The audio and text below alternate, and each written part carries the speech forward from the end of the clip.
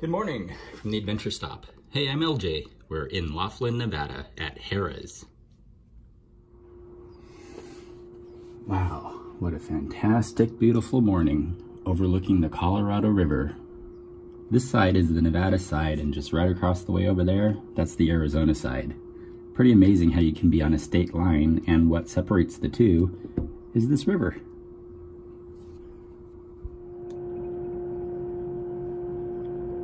We're currently in the month of March. The weather here can kind of be a little unpredictable in the springtime. Yesterday it was rainy and about 65 degrees. Today it's a beautiful sunny 75. Tomorrow it's supposed to be 85, so be prepared for the weather changes.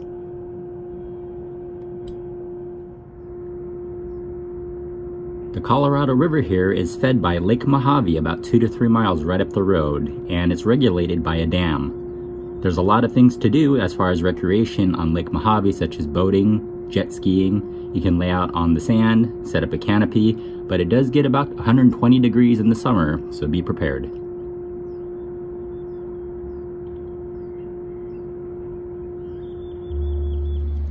So today's food adventure stop brings us to the city of Laughlin, Nevada to Guy Fieri's El Burro Borracho. There's a second location on the Las Vegas Strip at the Rio.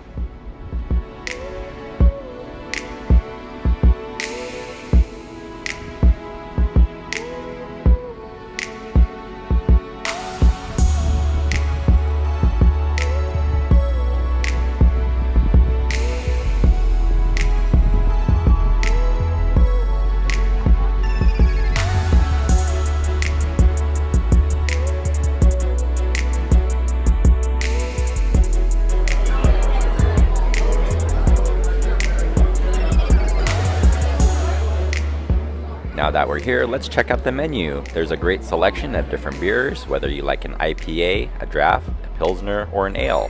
A few wine choices, but mostly you come here for the margaritas. You know Guy Fieri's favorite saying, right? Welcome to Flavor Town. There's so many different choices for delicious food on the menu. Check it out. Today we're having a Cadillac margarita, some chips and salsa, and fajitas.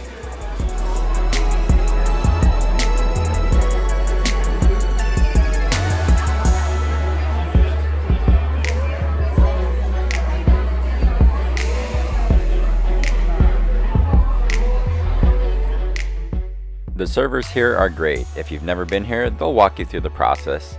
But it's pretty simple and straightforward. The salsa is fresh and delicious, and if you want to add a little spice, add this jalapeno hot sauce. Chips and salsa are complimentary and they're dusted with this light seasoning. It's delicious. Are you ready for Flavor Town? It's coming up now, a delicious sizzling hot plate of beef and chicken fajitas.